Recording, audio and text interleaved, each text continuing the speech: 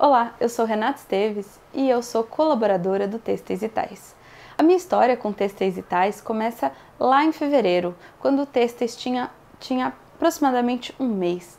Foi quando eu reencontrei a Thaís depois de alguns anos. Eu fui aluna dela no curso de, de moda na Santa Marcelina e logo depois que eu terminei o curso, eu fui fazer um mestrado em jornalismo na Unicamp, num curso chamado Divulgação Científica e Cultural.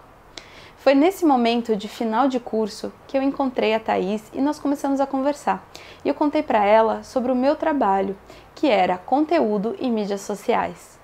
E aí ela me chamou para ser colaboradora do Textos e Tais. No TIT eu faço toda a parte de conteúdo que vocês enxergam. Uma vez por mês eu e a Thaís a gente senta e conversa sobre todos aqueles conteúdos que vão ser lançados é, durante o mês. Também tem essa conversa com os outros colaboradores. A Thaís conversa com todos eles e a gente monta uma planilha no final com tudo aquilo que vai ser colocado de conteúdo. Eu sou responsável também por três posts semanais, geralmente de quarta, quinta e sexta, toda a parte de imagens e os GIFs.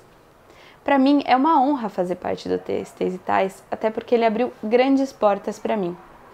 Mostra todo dia o meu trabalho mas também faz ter esse contato com vocês, porque o grande colaborador do Textos e Tais são vocês que nos assistem, que compartilham, que mandam mensagem para nós, que nos dão uma, uma direção do que vocês querem. Toda vez que vocês mandam uma mensagem ou comentam uma postagem nossa, nos dá certeza para onde a gente tem que ir e nós somos muito gratos por isso. Por isso eu quero agradecer por esse primeiro ano de Textos e Tais, que vai ser completado o ano que vem, no começo do ano. E convido você a curtir, compartilhar e comentar. Fique ligados, o ano que vem tem muito mais conteúdo. Tchau!